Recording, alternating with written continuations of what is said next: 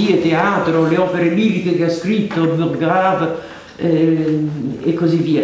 Eh, però quello che è importante è che eh, ricordare che lui, ha perso, lui aveva quattro figli, Leopoldine che morirà il giorno del suo matrimonio col marito annegandosi nella Senna, eh, François e Charles che moriranno mentre c'è la comune a Parigi, quindi lui che era contro Napoleone III per ribellione, quando fu tradito e ci fu il colpo di Stato, eh, Vittor Hugo lasciò la Francia, se ne andò in esilio a Jersey e poi a Guernesey nelle isole della Normandia.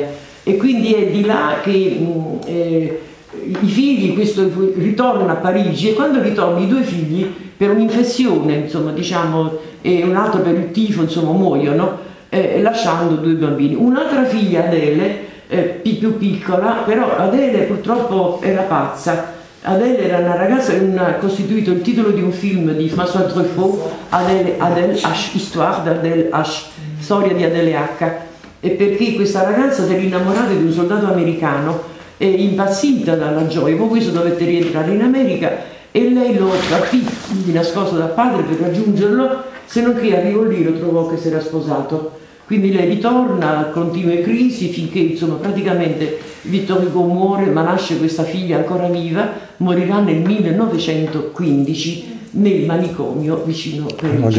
Lui non solo, e lui lasciò i soldi perché si accudisse gli interessi delle opere che si vendevano perché si fossero utilizzati per questo e, per, e i suoi libri alla Biblioteca Nazionale perché diventasse Biblioteca degli Stati Uniti d'Europa. Fu amica dell'Italia, lo dicevo nelle scale prima, scriveva dei messaggi, degli appelli agli italiani quando venne Garibaldi per dire libertà, libertà, libertà, aiutatelo, aiutatelo e lo, ospita, lo aspettava anche a casa sua nelle isole perché Vittorio Hugo è un mostro di bravura, sapeva costruire, eh, costruì un caminetto in casa sua rivestendolo di maioliche azzurre, eh, dei mobili, un letto a baldacchino per poter arrivare, eh, come si chiama, Garibaldi, costruiva, eh, che video disegnava moltissimo, tanto che è diventato poi celebre, adesso dopo la morte si è diffuso in tutto il mondo, addirittura dipingeva con il fiammifero il caffè, bagnava il fiammifero di legno no? dentro il caffè e faceva questi schizzi. Io ne ho pubblicati alcuni per i bambini, per i suoi figli. Ecco, questo è Vittorio Hugo con i, bambini Georges e Jeanne, gli episodi che racconta, ha scritto perfino dei girotondi perché potessero giocare, che sono poi stati messi in musica. Ehm, e, questi sono i quattro figli, vedete?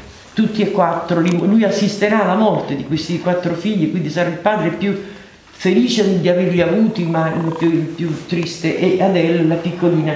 Vedi, si inventò un personaggio eh, con una capo e due gambe, Pista si chiamava, Pista, Pista, hai capito? Spazio, e che siccome a Parigi ci fu il colera, allora tutte le famiglie chiuso, si chiusero in casa e le tapparono le finestre bene per evitare che entrasse la possibilità del contagio. E lui ogni mattina faceva dei disegni e li metteva sul letto dei bambini in modo che loro svegliandosi potessero sorridere e cominciare a raccontare. È stato un padre meraviglioso, un, un nonno meraviglioso, soprattutto quando racconta e ricorda i giochi di Adellino, ricorda come giocavano e come è diverso come nonno. Lui perdonava tutto, la mamma si ridava i figli perché si rubavano la, la, la marmellata, oppure una volta si, si ruppe un vasetto che, a cui la mamma teneva molto. Oddio, tutta la cina per terra, perché era una casa cinese, no? E la mamma la mise in castigo, allora lui andava in castigo, le portava da mangiare. Lui dice io perdono tutto, io... e leggere questo l'arte di essere nonno è qualcosa veramente di incanto. Lui dice che i bambini portano, quando nascono, vengono direttamente dal paradiso loro quando balbettano, non balbettano, stanno parlando il linguaggio che parlavano lì in paradiso, della, nel mondo della felicità. Avevano le ali ancora. Ecco, se posso rispondere a qualche altra domanda più seria, più non so no, Volevo dire solo questo, perché ho preso accordi per vedere le due cripte sotto la chiesa di San Biagio. La chiesa di? San Biagio. Non so qual è. Questa in piazza Duomo. A piazza Duomo. A fianco alla camera di commercio. Dell'Immacolata. La chiesa di San Biagio. Guardando il Ah, non la conosco come San Biagio. San Biagio. Dell'Annunziata. Annunziata è l'altra. Annunziate l'altra, quella prima, dopo, E la prima San Biagio. è, è dei sette No, un'altra ancora. A San Biagio danno, fanno anche il pane. Pane, sì. Guard- guardando il, il tuo, guardando il